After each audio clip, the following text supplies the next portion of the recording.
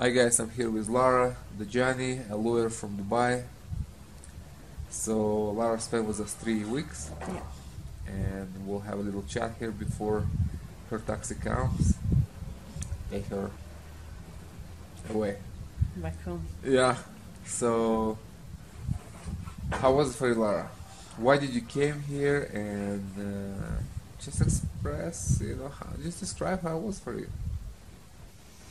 Yeah. Um, so I had a, a friend who came to Huachuma Wasi, a good friend of mine, um, who I've been doing sort of Kriya yoga with. It's a lot of work on breath and uh, energy alignment and healing. Um, and I think that sort of opened. That was the start of my my sort of journey into spirituality and connecting with myself. And I felt that coming here and, and I'd never tried plant medicine before, but I felt like that was a, a natural extension of what I was already doing, but obviously amplified. And um, you know, she she sort of put in a good word, and um, I just came on a whim, not really knowing what to expect. Um, but yeah, after having spent three weeks here, I feel like I came. I, I'm I'm not the same person that walked in three weeks ago. That's for sure. So, what do you think changed? Where do I start?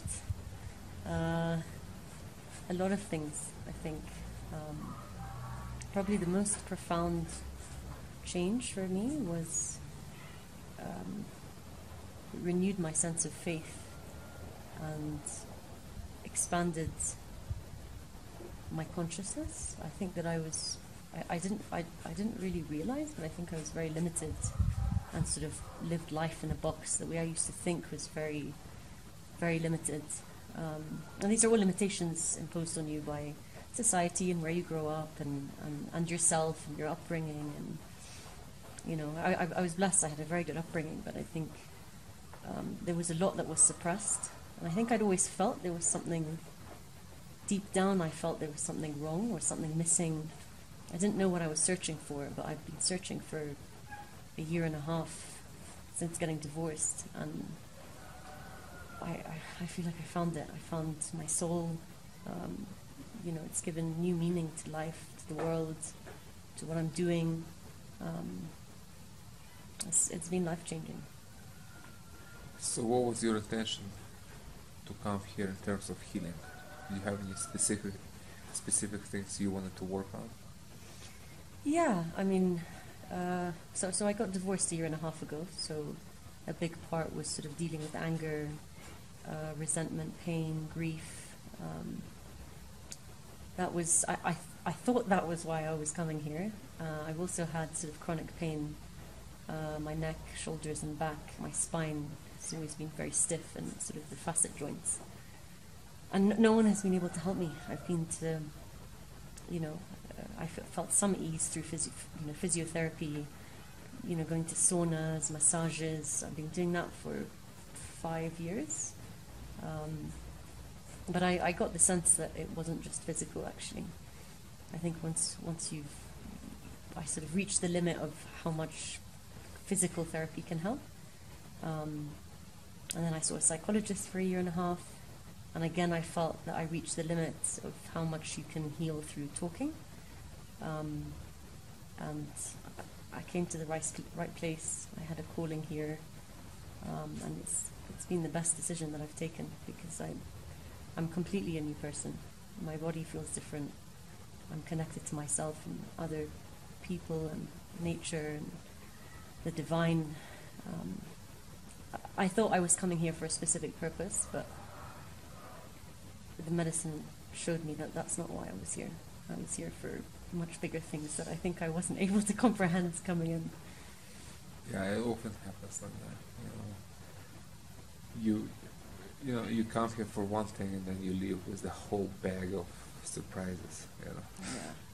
Yeah, I think as as as long as you have the openness, the trust, and trust in you, the trust in this place, the trust in the medicine, and the trust in yourself, then you will be very surprised. That, but you, you have to first and foremost you have to trust uh, and open your heart, and,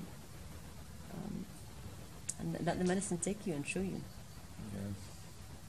Did you have trouble with trust in the beginning? Yeah, for sure, for sure. I mean, firstly, I- I'd never done plant medicine before. I'm not a drug taker. I We're not taking drugs. well, not we're not talking drugs, but but in general. i i yeah, I'm talking generally speaking. It was very foreign. I think that's probably a better way to put it. It was very foreign to me, and I had sort of a perception of, of what you know, what Huachuma, ayahuasca, and the types of people. I was very limited. The types of people who you know drink plant medicine. You know, I'm, I'm a very ordinary sort of. Well, I'm not not ordinary, but I. It took me by surprise. Uptight lawyer from Dubai. Yeah, I'm You a have to be normal person. you know, I'm not a hippie that, you know, Uh, it, it really surprised me. It really surprised me. But yeah, it's been amazing. well, you know, this is important point. You know, I'm not against hippies. You know, I respect all ways of life, but this is a miscon- misconception. This work is for dreadlock dudes exactly. or girls. You know, it's just not. that- It's just not true. I mean, they're also doing that. Anyone can do it. Yeah. but it's not for people who have a certain lifestyle or believe in certain things or you know uh, represent a counterculture or something it's like it's for everyone yeah. it's anyone a- every healthy reasonably healthy mentally healthy person can do this yeah. you know that's just a misconception that's people think oh i you know uh, i'm far from this i'm not taking any substances and it's like i'm already too old for that it's like no none of this is true Yeah. you know, and you you just have experienced that Yeah. coming from a very rigid culture environment. It's like you are that you're probably the best person to represent that Yeah. because of where you're coming from and the background and personal history, you know. And here you are having what you and finding God, basically. Yeah. You know. I think the other misconception is that you have to come with like a huge amount of issues, and I think that's probably also not correct. Mm. because I think the medicine, the beauty of the medicine, at least sort of how I experienced it, is yes, you have to work through, you know, fears, and you know, everybody suffers from fear in different ways. You know, maybe anxiousness. It's it's new. It's um, but but actually, the the I think people think that they need to come here with you know sick, you know massive personal being sick basically. But what I've learned myself is that you don't have to come here sick. You can come here as a healthy person, Yeah. simply wanting to understand more, Yeah. um, seeking a connection with the divine, uh, wanting to connect with yourself or with nature, or you know, I've I've had like every ceremony for me has been just unbelievable, like beyond what I was able to to comprehend. I think, um, yeah. That's true. That's just not a misconception. You know, I never came to the medicine out of sickness. I was healthy 100%, Yeah. physically, mentally, always. I was seeking. For me, it was just purely spiritual quest. Yeah. For me, it was um, to understand myself, to understand my relation with the world. You know, Yeah. find meaning, truth. You know, so I found what I was looking for and actually a lot more. You know. But you're absolutely right.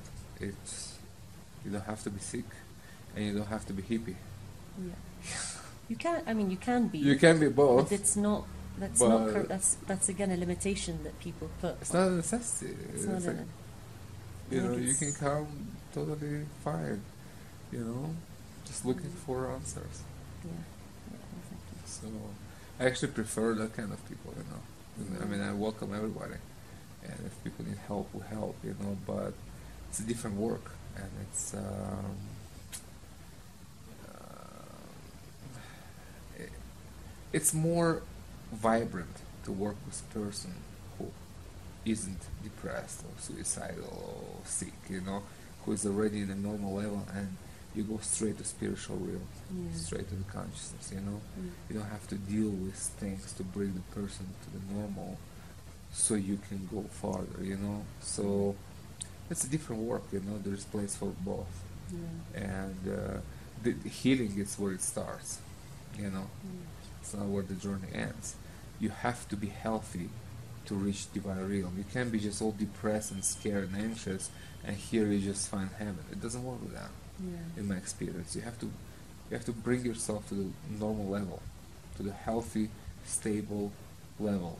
From there, you can start reaching higher. You know, so healing happens for everyone in different way, but that's where it starts, and then pretty quick we go in a positive plan.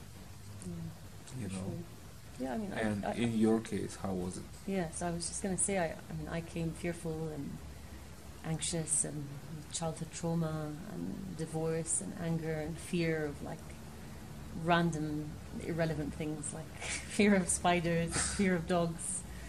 When I walked into your house and saw your dog, I was paralyzed. But from ceremony one, I don't know, the fear got dropped. Um, I mean, you, you worked through it, but medicine gives you perspective. Um, even with minor fears that maybe you don't think is it's annoying, it's an inconvenience. It's always been an inconvenience in my life, but um, it's given me a lot of perspective about what's important and what isn't.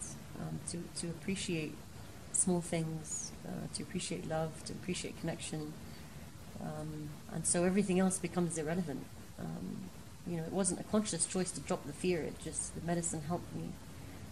You know, To work through it, to to understand go it. through it, to understand it, to work through all, like you were saying, you work through the, the personal issues, which everybody has in differing degrees, but once you're able to overcome that, uh, different people will take different amounts of time to overcome their own personal difficulties. That's when you really see the, the prize jewels.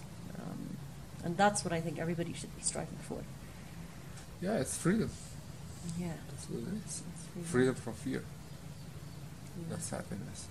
You're you're not crippled by that. Just living your life, doing whatever you want to do. You know. So that's what the that's what the ultimate healing is. You know. Course, there's many departments to it, many aspects. Yeah. But if you're not free from fear, then what are you? What is freedom there? Yeah. Mm. You know, and this is what we focus. So, would you like to share what was your most profound ceremony? It's hard to choose. I mean, there's three that come to mind. Probably the the last yesterday's ceremony was. Yeah, I mean, it would have to be yesterday's ceremony. The last one, yeah. Yeah, it was. Uh, it gave me a lot of clarity. I don't know. Somehow I, I connected all the dots about the last three weeks. It like solidified my whole experience. Um, it gave me a lot of strength. Um, I realized, you know, kind of. I, I could see myself as I am without all the stuff that gets piled on through life and you know the fears and the you know the the issues and the kind of suppression and social pressures. But I saw myself as I am uh, I connected to my core self and I, I felt that somehow and it, it had been happening gradually but yesterday was like I I, I, I see myself now as, as I am, my core essence, my spiritual self as well, connection with my soul. Um, it was intense. I mean, I, I, I, th- I think that the place that we went to specifically was um, emits a lot. It's, it's a very strong and energetic place. And I could feel the power and significance of where we were and connected to it uh, in an unbelievable way.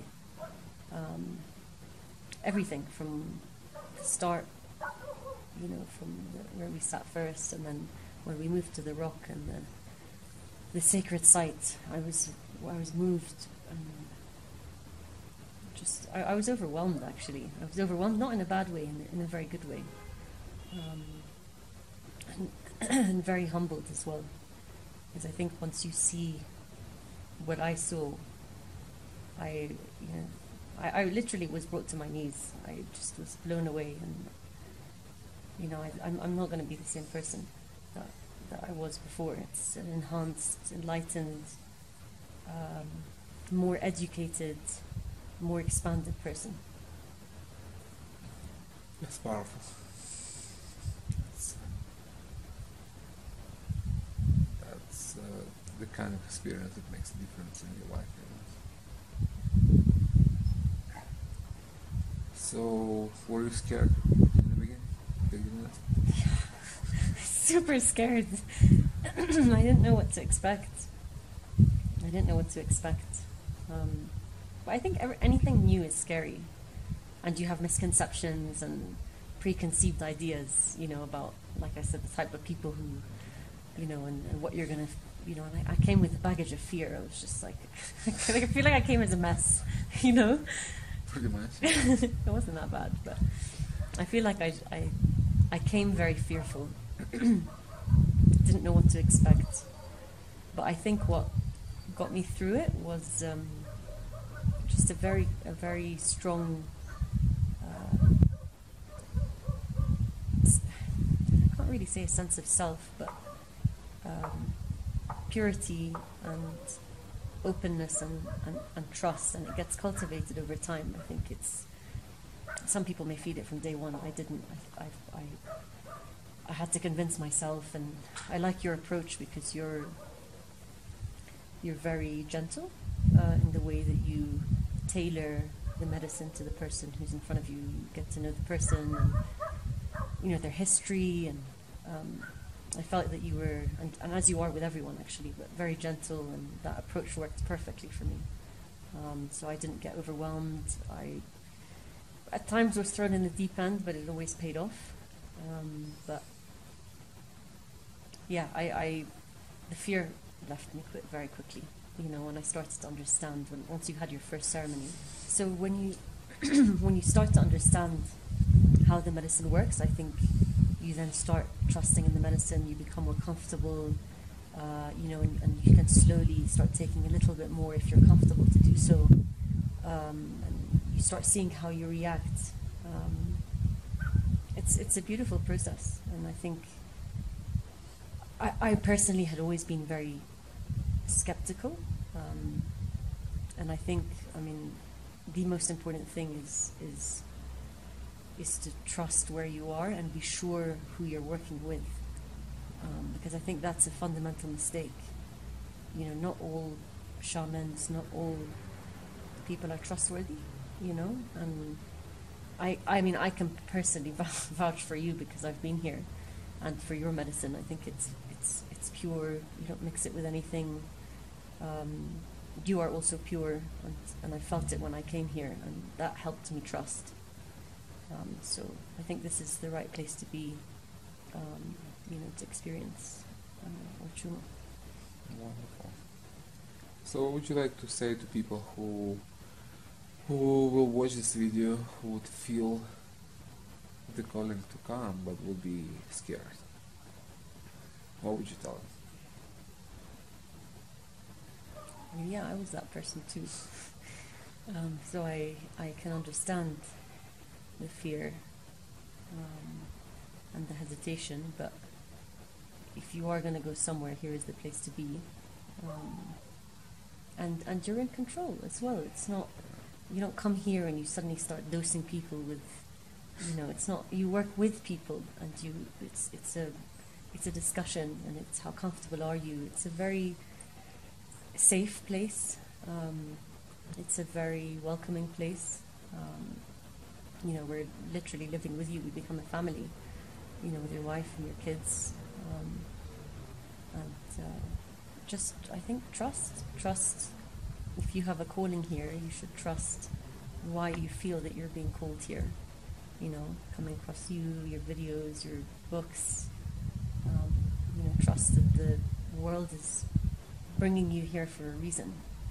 Um, you know, and there's always an exit if someone, you know, but it's never happened. there. it's never happened. out. But you know, you're not But usually stuck. people want to stay longer. I know, I know. yeah, I, I, I teared off this morning thinking that it's my last day. I'm very sad to leave, but there's a lot of work to be done. I think, Yeah. Back home.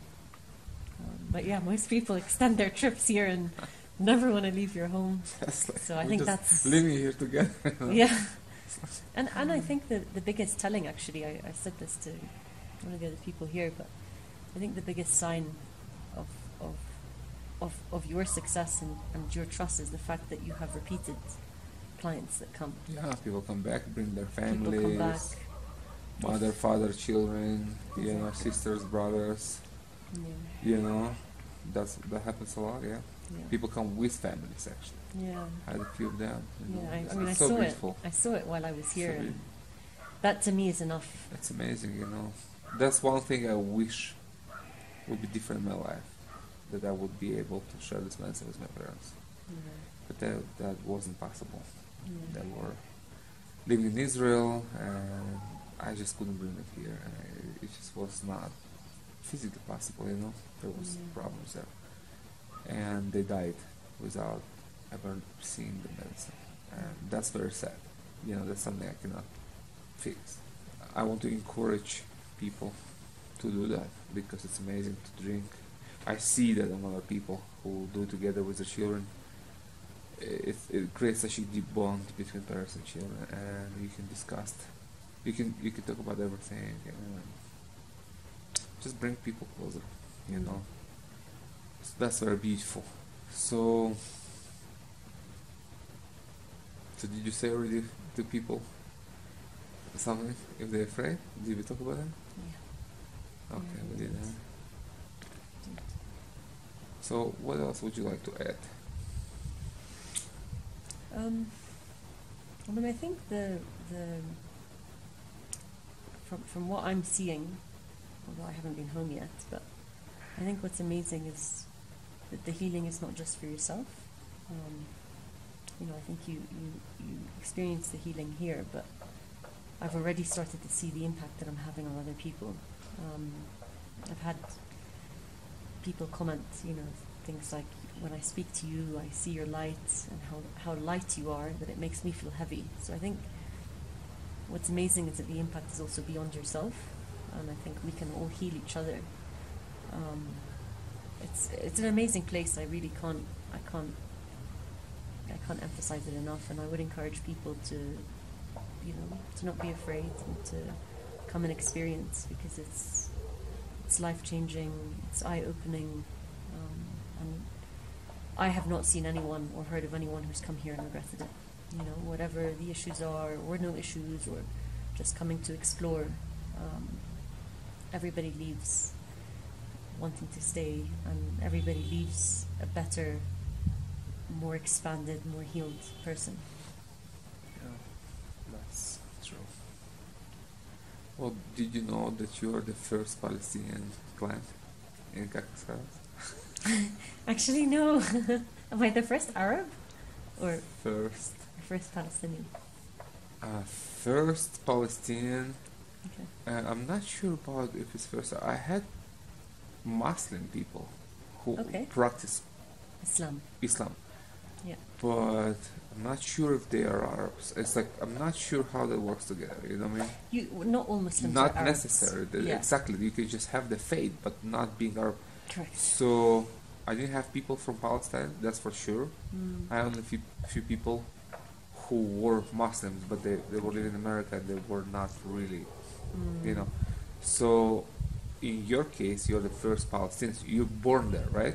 No, I was actually born in London. Ah, but your uh, parents. But I'm originally, yeah, my parents were were um, uh, lived in Palestine, in So Jerusalem. they left there. Okay, yeah, so they left, and so you can say that you're Palestinian. I'm yeah. yeah. You can Both my that. parents are Palestinian, Both, so.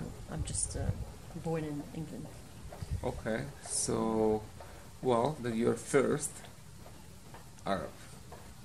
Wow, I'm honored from to be paving the way. Yes, absolutely. You know. Yeah, and that's very it's, it's great you know i'm very happy that it happened like that and you definitely you know you have an you had an impact on my perception of palestinian people and uh, you know coming from israel it's a, it's a different uh, perspective there so you know we see you as enemies and and as you see us as, as enemies you know and that's very unfortunate but that's how brainwashing works Mm. you know it's politics all this stuff.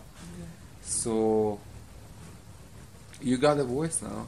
Uh, Palestinian people got a, another voice here, you know, and uh, this just shows that you know all this is just such a bullshit. You know, all this politics, all this division.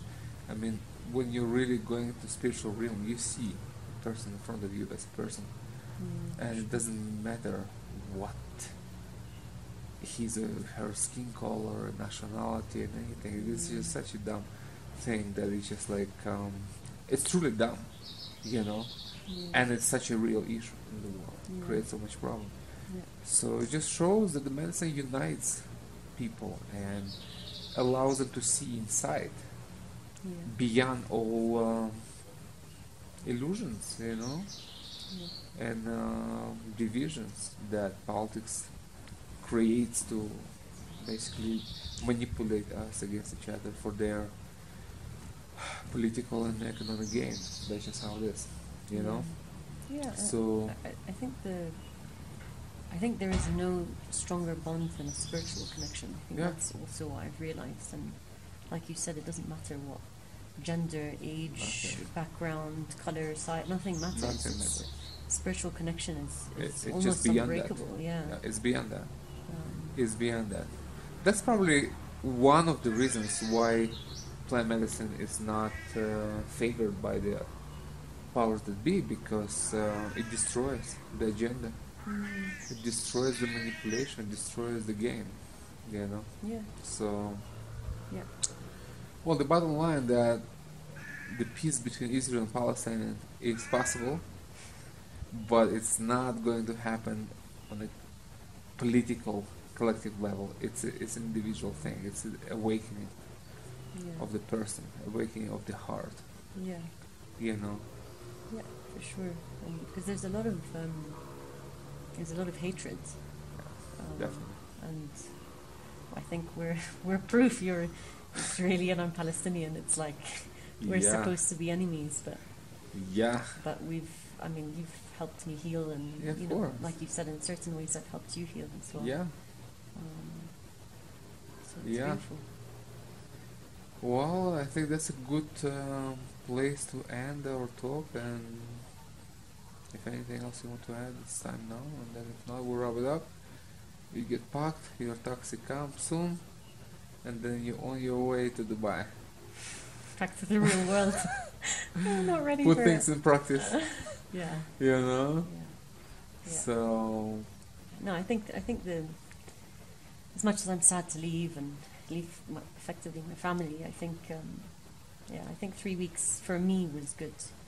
Um, I would love to have stayed longer and do. I don't think there's ever a limited amount of time for healing. I think everybody has more to heal and more to Yeah. again expand your to unfold. to unfold and expand your consciousness, and the medicine has a lot of depth to it that I would love to continue exploring. Um, but I think, given the three weeks I've had and the ceremonies, I think there's a lot to process, a lot to think about, you know, integrate, see Yeah. how I do, and maybe come back. Yeah, Mm. come back, sure for more, Yeah, for going deeper. right. Wonderful. Okay, Lara. Thank you very Thank much. you. Thanks. for your talk, for your time, for your beautiful presence and heart.